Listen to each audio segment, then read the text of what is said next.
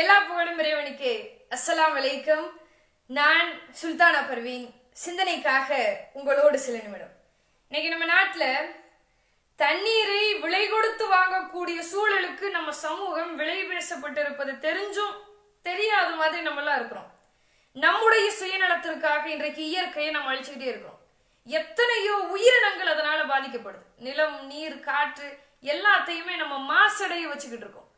மலைகள் மறைந்து மண் வளம் குறைந்து நதிகள் வறண்டு போனதற்கு காரணம் யார்? எங்க என்னைக்காவது நம்ம யோசிச்சு பார்த்துருக்கிறோமா? இயற்கை எடுத்துக்கிட்டா பஞ்சமோ வெள்ளமோ தாவரங்கள் என்னைக்காவது புலம்பி இருக்கா? இந்த வசதியெல்லாம் எங்களுக்கு பத்தாது. எங்களுக்கு அதிகப்படியான வசதி தேவைப்படுதுன்னு எந்த விலங்காவது அரசாங்கத்துக்கிட்ட போராட்டம் பண்ணியிருக்கா? பூமிக்குள்ள இருந்து தங்கத்தை தோண்டி எடுக்கிறோம். நாமளே விலையை நிர்ணயம் பண்றோம். ஏன் விலையை நிர்ணயம் பண்றதுக்கு நீங்க யார்? தங்கம் வழக்கு தொடுத்திருக்கா? பல்லாயிரக்கணக்கான ஆண்டுகளாக வானத்திலே இருக்கக்கூடிய கோள்கள் அதற்கு வகுக்கப்பட்ட அந்த பாதையில சற்றும் புரளாமல் அது சூரியனை சுத்தி வந்துகிட்டு தான் இருக்கு. இயற்கை அதனுடைய பொறுப்புகள் இருந்து என்னைக்குமே மாறினதே இல்லை. ஆனா மனுஷங்க நாம என்ன பண்றோம்? நம்முடைய இனத்திற்கும் மற்ற உயிரினங்களுக்கும் ஒவ்வொரு நாளும் நம்ம தீங்கு இழைச்சுக்கிட்டே இருக்கோம் யோசிச்சு பாருங்க. இயற்கைக்கு சுயமாக சிந்திக்கக்கூடிய சிந்திக்கிற திறன்லாம் கிடையாது. இயற்கைக்கு சொல்லி கொடுக்கறதுக்கு முன்னோர்கள்லாம் யாரும் இருந்ததில்லை. ஆனால் அறியாமலேயே அதனுடைய பொறுப்பை உணர்ந்து அது செயல்பட்டுக்கிட்டே இருக்கு. மனுஷங்க நாம என்ன பண்றோம்? தவறுன்னு தெரியும். தவறு என்று தெரிஞ்சே அதை செய்யறதுக்கு நம்ம தயங்குறது இல்லை இப்படிதான் ஒரு கோடீஸ்வரர் கார்ல போய்கிட்டு இருந்தாராம். இடையில ஒரு பிச்சைக்காரன் வழியை மறிச்சு கோடீஸ்வரன் கிட்ட பிச்சை கேட்டிருக்கான். கோடீஸ்வரர் நல்லா தானே இருக்கிற வேலை செஞ்சு சம்பாதிக்காம பிச்சை எடுக்கிறியா? உனக்கு கேவலமா இல்லையான்னு கேட்டிருக்க நான் பல வருஷமா வேலை தொலைவிட்டேன். எனக்கு யாருமே வேலை கொடுக்கல. அதனால நான் பிச்சை எடுக்கிறேன். நீங்க வேணா எனக்கு வேலை கொடுங்க நான் இந்த பிச்சை எடுக்கிற தொழிலையே விட்டுறேன் அப்படின்னு பிச்சைக்காரன் சொன்னான் உடனே அந்த கோடீஸ்வரர் சொன்னாரா நான் பெரிய கோடீஸ்வரன். எனக்கு பல ஊர்களில் பல தொழில் நான் செஞ்சுக்கிட்டு இருக்கேன். நான் ஒன்று பண்றேன். நான் உனக்கு ஒரு கடையை வச்சு தரேன். கடைக்கு வாடகையும் நானே கொடுக்குறேன். நீ என்ன பொருளை விற்கணுமோ அந்த பல சரக்குகளையும் நானே உனக்கு கொடுக்குறேன். நீ எனக்கு அந்த பொருளை வித்து கொடுக்கணும் அவ்வளவுதான். இப்போ நம்ம டீலிங் பேசலாமா அப்படின்னு கோடீஸ்வரர் கேட்டிருக்காரு. பிச்சைக்காரனுக்கு ஆச்சரியம் தாங்கவே முடியல.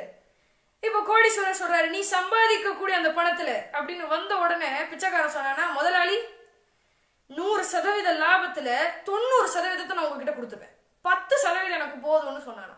மறுபடியும் அவனுக்கு மனசு கேட்கல. இல்ல முதலாளி தொண்ணூத்தஞ்சு சதவீதத்தை நீங்க வச்சுக்கோங்க. அஞ்சு சதவீத லாபத்தை மட்டும் நான் எடுத்துக்கிறேன் அப்படின்னு பிச்சைக்காரன் சொன்னானா. அதுக்கு அந்த கோடீஸ்வரர் சொன்னாரா வேண்டாப்பா நீதான் உழைக்க போற. உழைப்பு உன்னுடையது. எனக்கு ரெண்டு சதவீத லாபம் போதும். தொண்ணூத்தி எட்டு சதவீத லாபத்தை நீயே வச்சுக்க. அப்படின்னு சொன்ன உடனே பிச்சைக்காரனால ஆச்சரியம் தாங்கவே முடியல.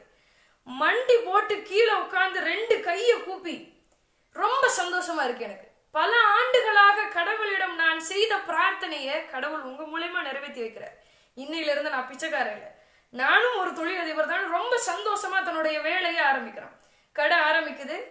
முப்பது நாட்கள் கடுமையா உழைக்கிறான். காலையில கடையை திறந்தா நள்ளிரவு தான் கடையை மூடுறான். முப்பது நாட்கள் அவன் கடுமையா உழைச்சதற்கு அவனுக்கு கிடைத்த பரிசு. கல்லா நிரம்பி வழியுது அவன் கல்லா முழுக்க நிரம்பி வழியுது முப்பது நாள் முடிஞ்சிருச்சு. இப்போ முதலாளிக்கு ரெண்டு சதவீத லாபத்தை கொடுக்கணும். யோசிக்கிறான் முப்பது நாட்கள் நான் எவ்வளவு கஷ்டப்பட்டு உழைச்சிருப்பேன். காலையில கடையை திறந்தா நைட்டு தான் நான் கடையை மூடி இருக்கேன்.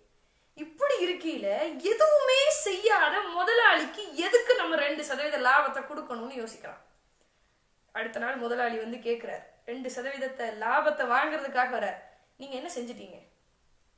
முன்னாள் பிச்சைக்காரன் இப்படி கேட்கறான் நீங்க என்ன செஞ்சிட்டீங்க? உங்களுக்கு எதுக்கு நான் ரெண்டு சதவீத லாபத்தை கொடுக்கணும்? உழைப்பு எல்லாமே என்னுடையது. நூறு சதவீதத்தையும் அனுபவிக்கிறதுக்கு எனக்கு தான் தகுதி இருக்குன்னு அவன் சொல்றான். யோசிச்சு பாருங்க இந்த மாதிரி ஒரு பங்குதாரர் நம்ம கிட்ட இருந்தா நம்ம என்ன பண்ணுவோம்? நாமளும் முன்னாள் பிச்சைக்காரர்கள் தான். யாரெல்லாம் இயற்கையை பாதுகாக்காம இருக்கிறோமோ இயற்கையை பாதுகாக்காத எல்லோரும் முன்னாள் பிச்சைக்காரர்கள் தான். யோசிச்சு பாருங்க. இறைவன் இந்த உலகத்துல எத்தனையோ வளங்களை நமக்கு கொடுத்திருக்கான் நம்முடைய இந்த உடல் சிந்திக்கக்கூடிய அந்த திறன் பணம் சம்பாதிக்கக்கூடிய அந்த திறன் படைப்பாற்றல் அவ்வளவு ஏங்க? இயற்கை வளங்களை இறைவன் நமக்கு கொடுத்திருக்கான். நிலம் நீர் காற்றுன்னு அடுக்கிக்கிட்டே போகலாம். இறைவன் கிட்ட இருந்து வாங்கின இயற்கை வளத்தை பத்திரமா பாதுகாத்து பொறுப்புணர்வோட அடுத்த தலைமுறைக்கு கொண்டு செலுத்த வேண்டிய கடமை நம்ம ஒவ்வொருத்தருக்குள்ளயுமே இருக்கு.